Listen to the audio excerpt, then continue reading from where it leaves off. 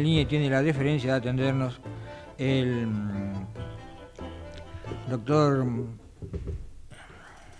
Alfredo Gutiérrez Girón, economista jefe del Instituto Argentino de Ejecutivos de Finanzas. Eh, Alfredo, Mario y saluda. Muchas gracias por atendernos. ¿eh? Buenas noches, Mario, y gracias a ustedes por el llamado.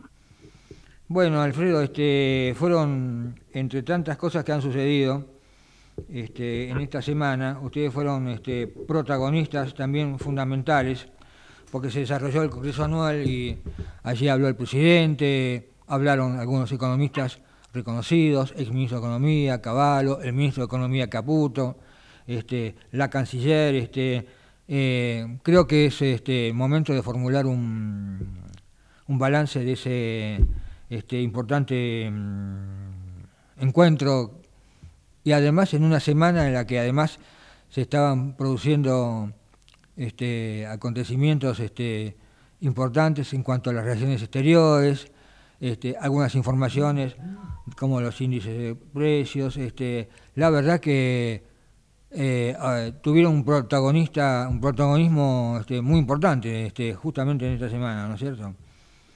Sí, la verdad que mm, fue una, una reunión con una concurrencia muy nutrida, 1.400 personas, y más, eh, debe haber habido mil que entrando y saliendo la vieron por, por streaming.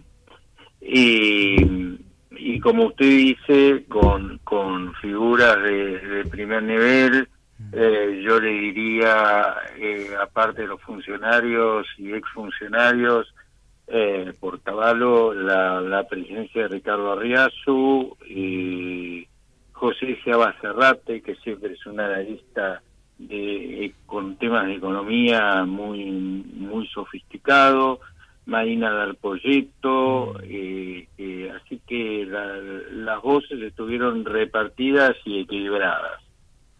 Y, bueno, eh, más allá de, de la posición de, lo, de las exposiciones de los presidentes, obviamente hubo una del presidente, obviamente hubo una una hay todo un desarrollo de, de cuestiones como inflación, futuro de la dinámica de precios relativos, la cuestión del tipo de cambio y de los regímenes cambiarios que estuvieron de alguna manera encarnados en la presentación de, del doctor Cavallo, eh, los temas de, tipo de cambio real que los abordó también Arriazu, eh, y, el, y los funcionarios que hicieron un, balance de, la, de la gestión de, de lo que se puede esperar el ministro de Economía y el presidente, ¿no es cierto? El presidente en realidad dio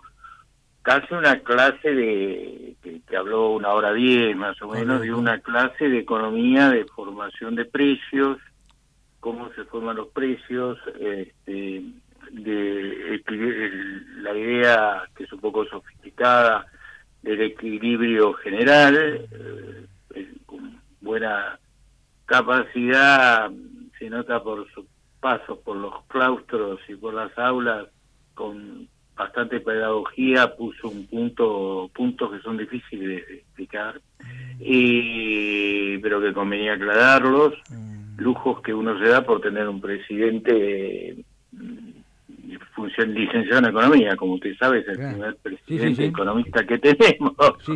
Y se lo digo yo que soy de la cuarta camada de, licenciados en economía que produjo este querido sueldo, ¿no?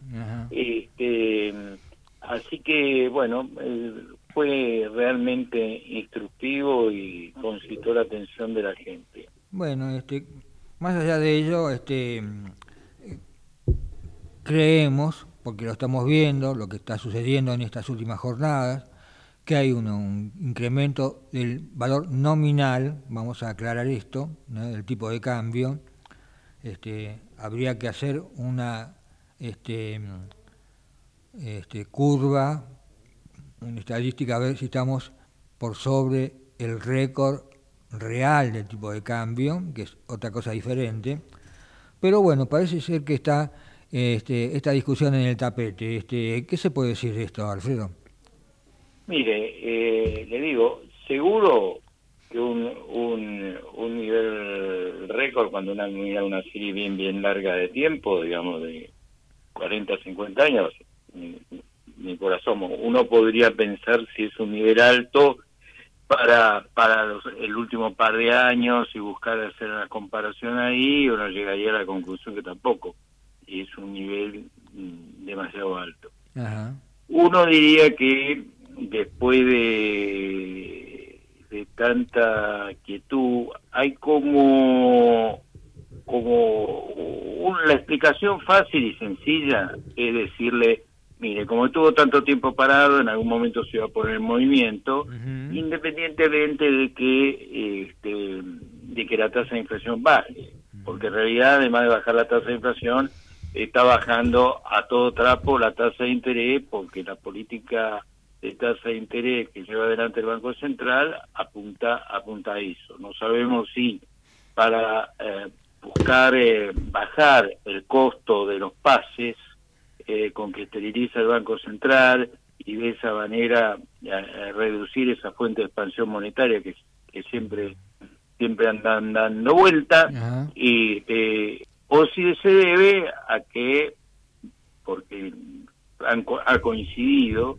de golpe se ha reavivado el debate de eh, la salida del cepo y de la y de la mm, salida del régimen cambiario de nuevo el tema de las competencias de moneda que nunca nos olvidamos está de nuevo dando vuelta Ajá. este, y ¿Por qué no bueno, explicamos esto que es competencia de monedas? Este, es la- eh, digamos cuando cuando se planteó inicialmente la dolarización como que iba a ser una de las primeras medidas de esta gestión era la dolarización chau hubo una sin embargo hubo una larga lista de, de- de economistas incluso el actual ministro de economía que decían que no estaban dadas las las brevas, todavía las brevas no estaban maduras, como decía Saavedra, para este, avanzar en ese sentido. Y que tenía más sentido el tema de que permitir una convivencia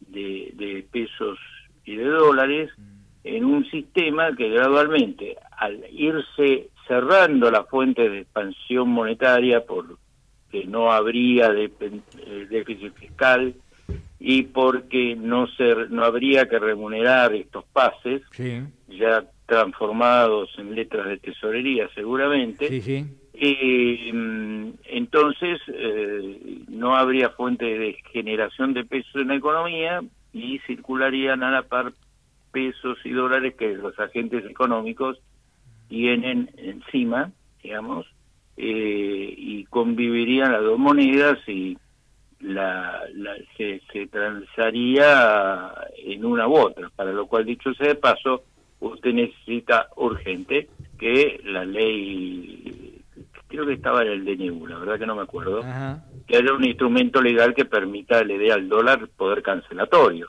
O sea, que cuando Ajá. usted va a una, a una escribanía a hacer un- una operación, no tenga que hacer todo ese periplo de pasar por peso, usted lleva los 80 mil dólares y se lleva la escritura del departamento O sea, de dos ambientes y acá estamos todos contentos. o sea, se- Eso es se- darle se- poder cancelatorio, ¿no? ¿Se, necesita una ley para esto?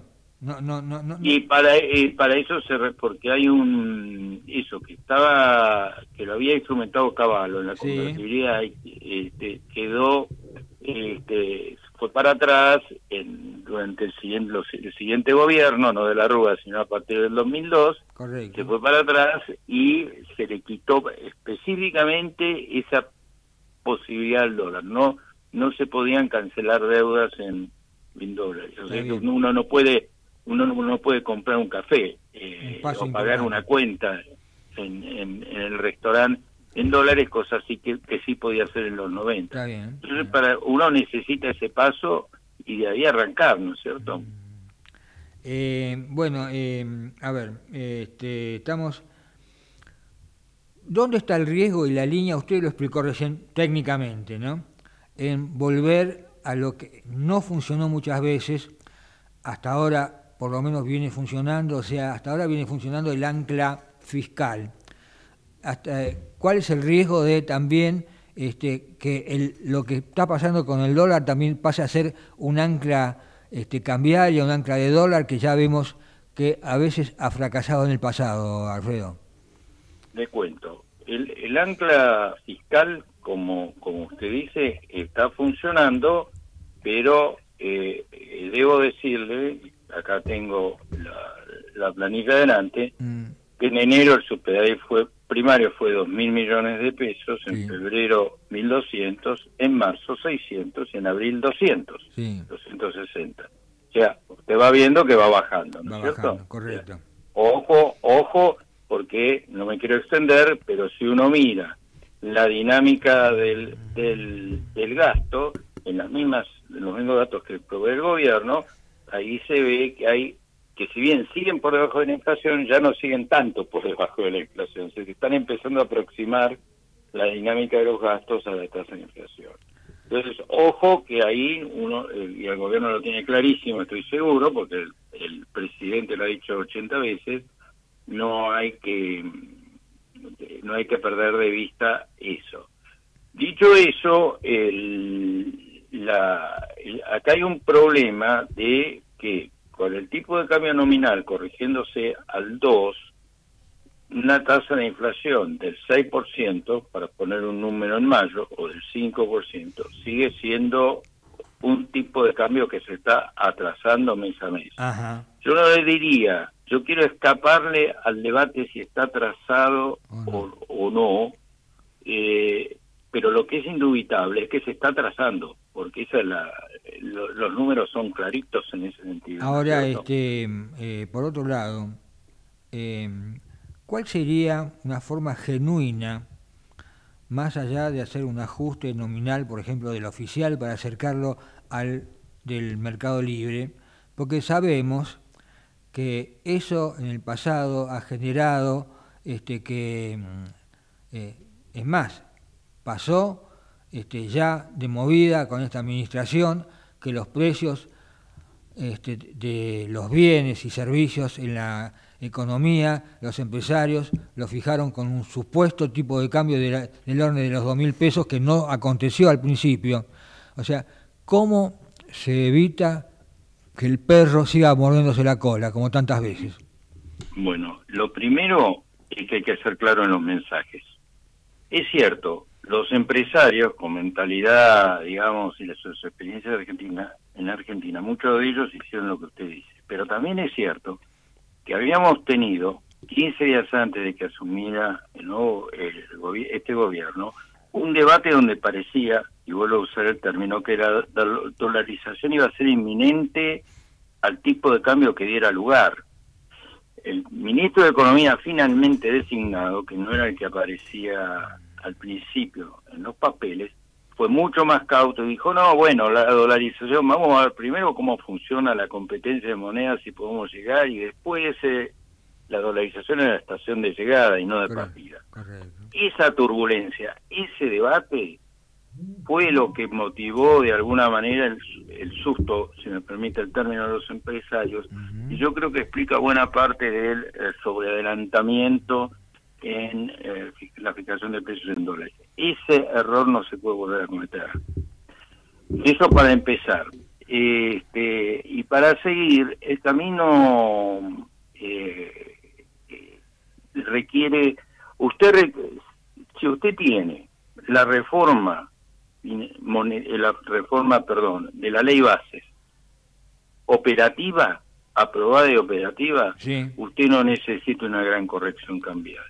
O sea, una economía... Es, clave el tema de... O sea, vamos, vamos a poner nuestros términos y voy a pedirle a, a, que me ponga en pantalla la imagen de, del día, que es la imagen del presidente en la revista Time, este, este, en una um, semana en donde hubo también todo tipo de conflictos con, con España, este, y que va a generar incluso la presencia de la canciller la semana que viene en la Comisión de Relaciones Exteriores del Senado. Este, este, pero este, más allá de esos ruidos, lo de ayer, lo del Luna Park, este, acá estamos en otro tema que es, usted lo está señalando, lo está, está poniendo el acento, que es lo que es clave es que esta ley finalmente sea sancionada.